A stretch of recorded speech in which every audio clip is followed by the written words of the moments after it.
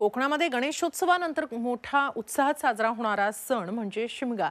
या सणासाठी चाकरमानीही मोठ्या संख्येनं आपापल्या गावात दाखल झालेत. काळाच्या ओघात या सणातील प्रथा परंपरा हरवत चालल्या असल्या तरी आजही अनेक परंपराही जपल्या जात आहेत. शिमग्यातील सोंग हा हा त्यातील एक भाग.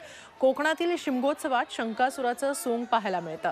शंकासुराचे सोंग घेतलेले खेळी आणि त्यांच्या मागे पुढे आनंद घेत धावणारी तर कधी घाबरून पडणारी लहान मुलं. हे चित्र आजही ग्रामीण भागात विशेषतः दक्षिण रायगड आणि उत्तर रत्नागिरीत पाहायला मिळतं. रायगडच्या तळा इथं असेच दोन शंकासूर रस्त्यावर अवतरले आणि त्यांना पाहण्यासाठी नागरिकांनीही गर्दी केली. तळागावच्या चौकात या दोघांमध्ये युद्धही रंगलं.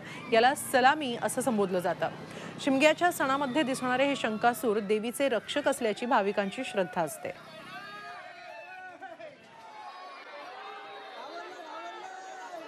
शंकासूर म्हणजे हे देवीचे रक्षक आहेत आणि त्याच्यामुळे इथं त्याला विशेष महत्त्व आहे. आणि आजच्या दिवसाला जी सलामी होते बाजारामध्ये तर त्यासाठी मला असं वाटतं तालुक्यातनं नाही तर जवळजवळ आपल्या जिल्ह्यातून वगैरे बरेचसे लोक हा कार्यक्रम बघायसाठी येतात. होळी लागल्यानंतर देवीची पालखी फिरते दोन दिवस पालखी फिरते. त्या कार्यक्रमासाठी सुद्धा भरपूरशी माणसं म्हणजे या ठिकाणी पा- बघायला किंवा देवीचं दर्शन घ्यायला येतात.